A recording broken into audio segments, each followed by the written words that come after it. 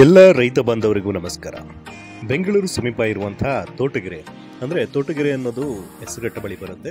So ಇಲ್ಲಿ ಪ್ರಪ್ರಥಮ ಬಾರಿಗೆ ದನಗಳ ಜಾತ್ರೆಯನ್ನು ಹಮ್ಮಿಕೊಂಡಿದ್ದಾರೆ ಶ್ರೀ ಬಸವೇಶ್ವರ ಸ್ವಾಮಿ ಸನ್ನಿಧಾನದಲ್ಲಿ. ಈ ಒಂದು ದನಗಳ ಜಾತ್ರೆಗೆ ಬರುವಂಥ ಎಲ್ಲ ರಾಸುಗಳ ಮಾಲೀಕರಿಗೆ ಶಲ್ಯವನ್ನು ಹೊದಿಸಿ ಸನ್ಮಾನವನ್ನು ಮಾಡಲಾಗುವುದು.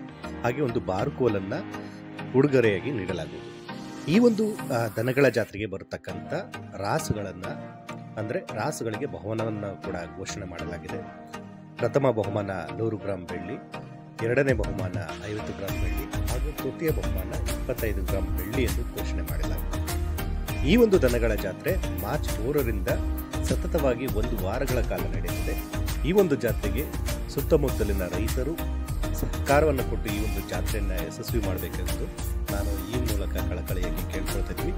ಅದೇ ರೀತಿ ಮದ್ದೂರು ಅಂದರೆ ಮಂಡ್ಯ ಜಿಲ್ಲೆಯ ಮದ್ದೂರು ತಾಲೂಕಿನಲ್ಲಿ ಬರ್ತಕ್ಕಂಥ ಚೊಟ್ಟನಹಳ್ಳಿ ಗ್ರಾಮದಲ್ಲೂ ಕೂಡ ಮೂರನೇ ಬಾರಿಗೆ ಅಂದರೆ ಮೂರನೇ ವರ್ಷ ಆ ಒಂದು ದನಗಳ ಜಾತ್ರೆಯನ್ನು ಮಾಡ್ತಾ ಇದ್ದಾರೆ. ಈ ಒಂದು ದನಗಳ ಜಾತ್ರೆಗೂ ಕೂಡ ಎಲ್ಲ ರೈತ ಬಾಂಧವರು ಅಂದರೆ ಅಕ್ಕಪಕ್ಕದ ಜಿಲ್ಲೆಯ ರೈತರಿರ್ಬೋದು ಹಾಗೆ ನೆರೆ ರಾಜ್ಯದ ರೈತರಿರ್ಬೋದು ಅಂದರೆ ಕೊಂಡುಕೊಳ್ಳಲು ಬರ್ತಕ್ಕಂಥ ರೈತರಿರ್ಬೋದು ಎಲ್ಲರೂ ಕೂಡ ಬರಬೇಕಂತ ನಾನು ಕೂಡ ಕೇಳ್ಕೊಳ್ತಾ ಇದ್ದೀನಿ.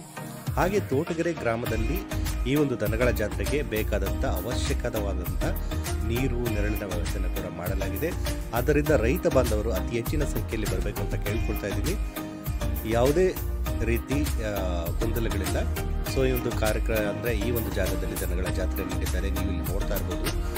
ನೆರಳಿಗಾಗಿ ಯಾವ ರೀತಿ ಒಂದು ವ್ಯವಸ್ಥೆಯನ್ನು ಮಾಡಿದ್ದಾರೆ ಅಂತ. ಸೊ ಎಲ್ರಿಗೂ ಕೂಡ ನಾನು ಆತ್ಮೀಯವಾಗಿ ಸ್ವಾಗತ ಮಾಡ್ತಾ ಇದ್ದೀನಿ. ಬಂದು ಈ ಒಂದು ಜಾತ್ರೆನ ಯಶಸ್ವಿ ಮಾಡಿ ಅಂತ ಕೇಳ್ಕೊಳ್ತಾ ಇದ್ದೀನಿ.